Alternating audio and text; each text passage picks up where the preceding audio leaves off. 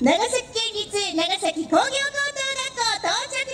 すどうぞ皆さん大きな拍手お願いしますわあかっこいい入場でしたねさあパレードを終えたばかりですが皆さん早速演奏のスタンバイをお願いしますではここでインタビューを行います吹奏楽部部長酒井半人さんお願いしますはいこんにちはこんにちはようこそどうでした？パレードやってみて。初めてのパレードだったので緊張したこともあったんですがお客さんのおかげで楽しく演奏することができました。ありがとうございました。ね迫力のパレードでしたね。さあそれではねまずちょっと学校のことからご紹介いただけますか？私たちは長崎工業高等学校から来ました。工業高校は長崎市にありまして総員900名で学んでいます8つの学科がありましてそこでいろんなことをみんな勉強してます。部活は珍しく水球部があったりいろんな部活が楽しく活動していますが吹奏楽部も人気です。ぜひ入ってください。まだここで勧誘しますかね 誰か入ってくれますかね。さあそれではね吹奏楽部についても教えてください。私たちは、えー昨年度からマーチングを始め昨年の九州大会では、えー認証を、えーいただくことができました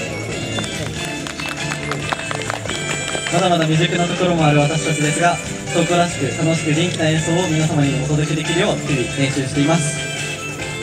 もう今まで吹奏楽部っていう自体はあったんですよね。でもずっと座奏で座ったままとか立ったままの演奏だったのが去年から始めたマーチングなんですよね。去年から始めました。それでまたね賞も取るってすごいですよね。さあそれではね今日ここハウステンボスで演奏していただくんですけども、まあ、今日のこう見どころ面白ポイントを教えてください。はい。1曲目に演奏させていただくのは時代劇絵巻。2曲目に演奏させていただくのがドリフメドレーとなっています。1曲目の時代劇絵巻は昨年度の九州大会でも披露させていただいた演目です。時代劇絵巻ということでどんな曲が演奏されるかはご想像にお任せしますがいろんな人が出てくるのでその、えー着替えて出てくる人の登場にもご注目ください。でドリフメドレーは皆さん聞きなじみのある幅広い方に、えー知られているメロディーが流れてくる曲となっていますので、えー歌える人は歌いながらぜひ楽しく演奏を聴いていただけると幸いです。はい。もうきっとねここにいらっしゃる皆さんきっと心にグッとくるものがあると思いますね。楽しみです。さあそれでは皆さんのスタンバイの状況いかがですか？バッチリですはいそれでは最後に一言お願いします。まだまだ未熟な私たちですが投稿らしく元気いっぱいに演奏演技するので応援よろしくお願いします。ありがとうございます。お話を伺いましたのは吹奏楽部部長え酒井春人さんでした。ありがとうございます。さあそれでは一体どんな演奏になるのかとっても楽しみです。お楽しみいただきましょう。長崎工業高等学校によります演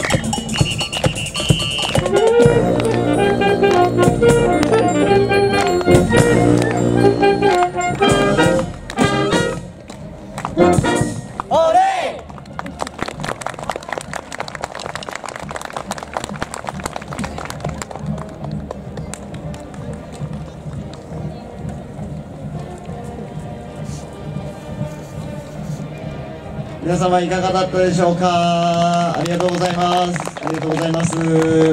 えー長崎工業高校吹奏楽で顧問をしております西川と申します。本日はですね素敵なイベントの方にお招きいただきまして本当にありがとうございます、えー今日ですね午前中に1回目のパレードとステージをえー披露させていただいて終わった後ですね控室で話をしてたら「いやー楽しかったよかった」っていうことで子どもたちにとっても本当に思い出に残るイベントとなっております。そしてですね今日はハウステモスさんの方から素敵な T シャツの方をいただきましてですね普段私たちあのチームカラーがですねちょっとこう濃い青なんですよ。